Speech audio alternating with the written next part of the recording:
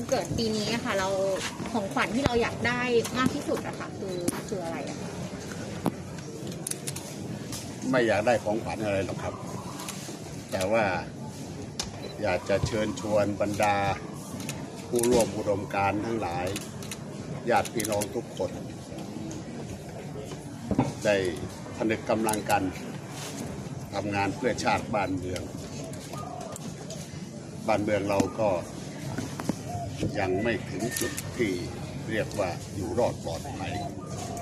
จำเป็นที่ยังจะต้องรวมพลังกันทำงานตามหน้าที่ของแต่ละคน รับใช้เบื้องพระยุคลบาทพระบาทสมเด็จพระเจ้าอยู่หัว เพื่อที่จะพาประเทศชาติให้พ้นจากวิกฤตทั้งหลาย แล้วก็ในฐานะที่เป็น แกนนำของพรรครวมพลังประชาชาติไทย เราก็จะชักชวน กรรมการบริหารพักสมาชิกพักทุกคนร่วมกัน ระดมสมองระดมความคิด และก็จะมอบหมายให้ดรอเนกเราธรรมทัศน์ไปเป็น รัฐมนตรีว่าการกระทรวงแรงงาน เพื่อช่วยเหลือแบ่งเบาภาระของท่านนายกรัฐมนตรี ภาระของรัฐบาล ในการฟื้นฟูเศรษฐกิจของครอบครัว ผู้ใช้แรงงาน ซึ่งคงจะเจอภาวะการว่างงานจำนวนมากมายอย่างที่แนวทางเศรษฐกิจพอเพียง ที่พระเจ้าอยู่หัวรัชกาลที่ 9 ได้ประทานไว้ เป็นหลักในการทำงานในคราวนี้ แล้วก็จะผนวกรวมกับความ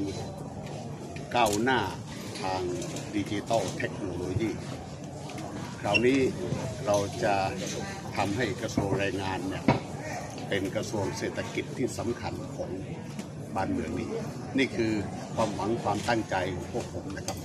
ตอนนี้ยังมั่นใจอยู่ใช่ไหมคะว่าเรายังครองเก้าอี้กระทรวงแรงงาน ผมได้รับคำถามนี้บ่อยมากเลย ผมเรียนพวกเราครับว่าในประเทศไทยวันนี้เนี่ยต้องฟังพลเอกประยุทธ์จันโอชานายกรัฐมนตรีพวกเรามีหน้าที่ร่วมแรงร่วมใจกับท่านนายกรัฐมนตรีพลเอกประยุทธ์จันโอชา เพื่อที่จะทุ่มเททำงานนำความสุขกลับมาให้ประชาชนได้ ท่านประกาศชัดเจนนะครับ ผมไม่ได้พูดจาไปประจบสอพออะไรท่าน เพราะว่าผมไม่ได้ไปมีตำแหน่งอะไร แต่ว่าการที่ท่านนายกรัฐมนตรีออกแถลงการครั้งหลังสุด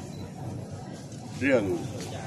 การที่จะรับฟังข้อเสนอความคิดเห็นจากประชาชน ขอให้ประชาชนทุกภาคส่วนได้ร่วมกันคิดทำงานเพื่อชาติเพื่อแผ่นดิน แล้วก็ขอให้ประชาชนได้เป็นผู้ประเมินผลการทำงานของรัฐบาลของฝ่ายบริหาร ถ้าคนอื่นพูดเนี่ยผมคิดว่าเป็นวาทกรรม แต่เมื่อพลเอกประยุทธ์จันโอชาพูด ผมเชื่อว่า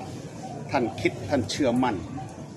ท่านยึดถือแนวทางนี้จริง ๆ ผมจึงถือว่าเป็นนิมิตหมายที่ดีของประเทศไทย ที่ผู้นำให้ความสำคัญกับประชาชนอย่างจริงใจ เพราะฉะนั้นพวกเราทั้งหลายก็มีหน้าที่ ช่วยท่านทำงานนะครับ ท่านคิดท่านประกาศอะไรออกมา เราก็ร่วมมือร่วมใจกันทำงาน ส่วนคนอื่นจะมีข่าวลือข่าวลวงข่าวปล่อย เราอย่าไปเสียเวลานะครับเอาพลเอกประยุทธ์จันทร์โอชาเป็นหลักวันนี้ แต่ว่าก็มีเอ่อรัฐมนตรีในเอ่อกระทรวงอื่นๆนะคะเอ่อผมเรียนอย่างนี้ครับ เวลา ร่วมรัฐบาลกัน ผมเคยเป็นผู้จัดการรัฐบาล ตอนนั้นก็พิจารณากันแล้วว่าพักไหนใครจะไปดูแลรับผิดชอบกระทรวงอะไร ตั้งแต่ตอนนั้นแล้วนะครับ ตอนเริ่มต้น คราวนี้ก็เหมือนกันครับ เมื่อท่านนายกรัฐมนตรีเห็นว่าพรรครวมพลังประชาชาติไทยเนี่ยเป็นพรรคการเมืองของประชาชน ท่านก็ไว้ใจที่จะให้ไปดูแลกระทรวงแรงงาน ซึ่ง เป็นกระทรวงที่มีประชาชนผู้ที่เป็นลูกจ้างเขาเป็นผู้ใช้แรงงานเนี่ยจำนวนมากในประเทศไทย รองลงมาจากเกษตรกรนะทีนี้เมื่อเวลาเราไปทำงานกันเนี่ยพวกเราทำงานกันทั้งพักดรอเนกเหล่าธรรมทัศน์เนี่ยก็เป็นหัวหน้าคณะทำงานที่ช่วยคิดนโยบาย ช่วยคิดโครงการ ช่วยคิดแผนงานให้กระทรวงแรงงานทำมาโดยตลอด ตอนนี้ผมเรียนว่าดรเนกนะครับ เป็นประธานคณะทำงานที่ยกร่างพระราชบัญญัติประกันสังคม เราจะแก้ไขพระราชบัญญัติประกันสังคม เพื่อที่จะให้ระบบประกันสังคมเนี่ยมีประสิทธิภาพ แล้วก็อำนวยประโยชน์ให้กับนายจ้างลูกจ้างมากขึ้นในขณะเดียวกัน พวกเราก็ ทั้งพักเลยก็ร่วมกัน ยกร่างพระบัญญัติจัดตั้งธนาคารประกันสังคมนี่เป็นงานที่เราทำมาเสร็จเรียบร้อยพร้อมที่จะเดินหน้าต่อไปได้ ทั้งยังมีร่างพระบัญญัติเพื่อดูแลแรงแรงงานนอกระบบ ซึ่งเราก็ทำแผนงานฟื้นฟูเศรษฐกิจครอบครัวผู้ใช้แรงงาน ซึ่งเราได้ กราบเรียนทนายกรัฐมนตรีไปเสนอสภาพัฒน์ไป เราพร้อมที่จะทำงานอย่างนี้ เพราะว่าทำการบ้านกันมาเป็นปีๆทำงานมาเป็นปีๆเราจะสานต่องานที่เราทำมาแล้ว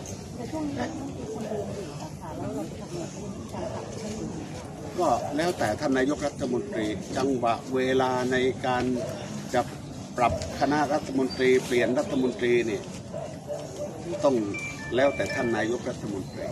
เราเข้าใจสถานการณ์ดี เราเข้าใจว่ามันมีจังหวะมันมีเวลาอยู่ แต่ในภาพใหญ่เอง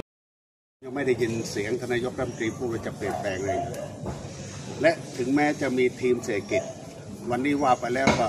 เหมือนกับว่าท่านนายกรัฐมนตรีท่านก็มาเป็นหัวหน้าทีมเศรษฐกิจด้วยซ้ำนะครับ ท่านก็ใส่ใจในทุกเรื่องทุกประเด็นอยู่แล้ว